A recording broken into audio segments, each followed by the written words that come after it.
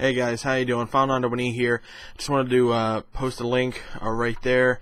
Um, what the, it, it's a video that I want I, I, want you guys to watch. It's for the Senator Theater. Uh, it's a it's a local movie theater right here. It's like a, the historic Senator Theater. I mean, it's it was like almost 50 years old, over 50 years old, and uh, they recently had the premiere, the, a midnight premiere for the Harry Potter and the Deathly Hallows Part One movie, and uh, I was there, and you know I, I took some footage and. Uh, uh, you know, you know they used it, and you know we edited it. It was pretty cool. Uh, so I want you to check that out. You know, you know, you know, post a comment on it, like it or whatever.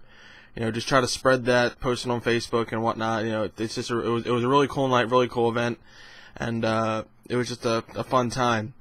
Uh, so yeah, also you know subscribe to them, the Senator Theater. There should be more videos coming. You know, whenever there's other midnight releases, and because guaranteed I'll be there uh, you know, you know, filming because they allow me to do that. I used to work for them, so it's pretty cool.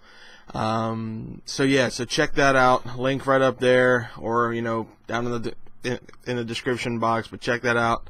Uh, definitely cool. Senator Theater midnight premiere of Harry Potter and the Deathly Hallows Part One. Very cool, very fun stuff. So check that out for me, guys. Do it for me, please. Thank you.